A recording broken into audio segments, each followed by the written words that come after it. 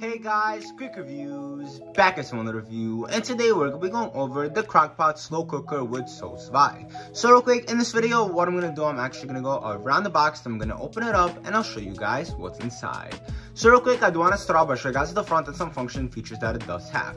It does come with a nice little image of it right here, and it also does tell us that it does have a 6 quart oval, and this feeds up to 7 plus people. This does have precision cooking, a Sous Vide kit, an innovative design, and you can also set it and forget it it. Now, right here in the back, we do have a little bit more information about it. It does tell us that it does have more usable cooking space, it does have a modern digital display, and it also does tell us that it does have a removable stoneware crock. It does have this dishwasher safe stoneware and lid. The kit actually does include a 20 plus recipe book, a temperature probe, and also 5 resealable Sous Vide bags. So now, what I'm gonna do, I'm gonna go ahead, I'm gonna open it up, and I'll show you guys what's inside. Alrighty guys, so this is everything that comes inside of the box. Right we do have the 5 reusable bags, we do have the owner's manual right here, the 20 plus recipe book, and the actual temperature probe right here. Ready, we do have the crock button. Honestly, I'm a very big fan of it. We do have a nice and elegant design all over, and I'm also a very big fan of the color. We do actually have some functions right here. We do have the sous vide function right there, a slow cook, and keep warm. We can also go ahead and control the temperature, the time, and we can also start stop. And you can also go ahead and connect the probe as you guys can see right here.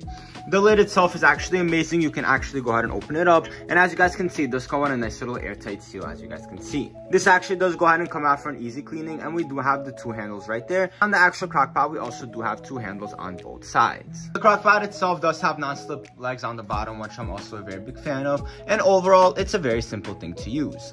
Overall, it's very simple and extremely straightforward. I just want to thank you guys so much for watching today's review, and I'll see you in the next one.